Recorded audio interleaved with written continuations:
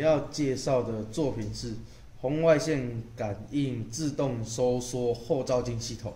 那这个系统是它的灵感来自于一般在路面上我们会遇到的状况，可能说，呃，我们车辆行驶在窄巷之中，那会影响到说我们后照镜的距离，或是说在我们一般停行驶在路上。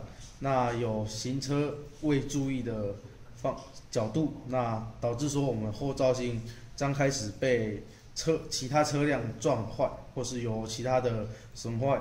那我们的原理是利用红外线的距离感应。那当我们感应到我们范围内有物品的时候呢，我们的红外线感应器会做动，那发产生一个讯号。让我们的感应器做动之后，我们的后照镜它会自动收缩。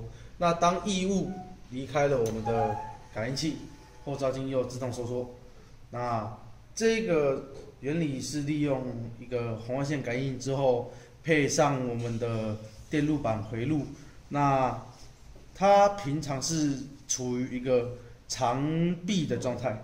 那当一有车辆或是异物，经过时，挡住我们的感应器，那它变成一个常开的回路，那让我们的后照镜收缩。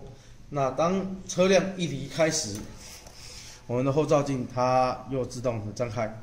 那我们的，呃，我们的作品还有另外设计调整一个距离，那就是说，经我们在一个范围之内，我们的作品它才会产生我们的作用。那像我们设定的距离是在三十到三十五公分左右，也就是说，一进入到这个距离，我们的后照镜会自动收缩；一离开这个距离，它会自动张开。那会有其他的状态，可能就是说，我们车辆快速行驶过去时，那它是不会做动的，因为这个对我们后照镜不产生影响。那也会让我们的作用器。保持在一个稳定的状态。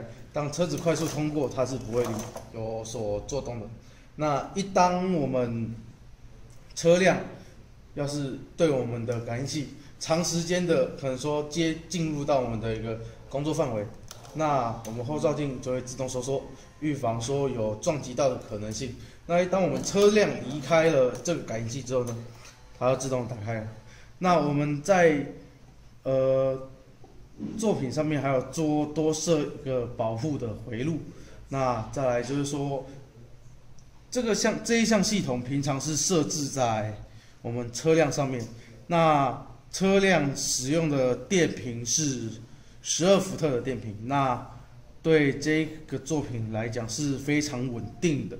那我们有加装一个呃一个变压器，让我们可以。这个成品能在一般室内上面，让我们可以看到它的反应跟它的作动。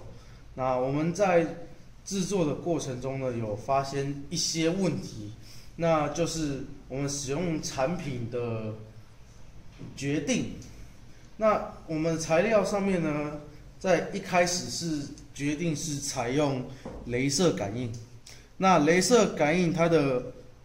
效能是非常精准的，那又精准，那但有个问题是说它消耗的能量非常大，那再加上它的精准度，呃，高乎我们所使用所需要的一个范围，那我们才选择选择使用我们的红外线感应器，那这个感应器它是可以选择常开或是常闭的一个选择。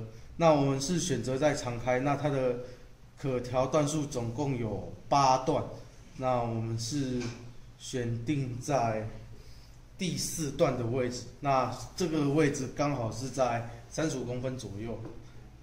那我们作品介绍到这边结束，谢谢大家。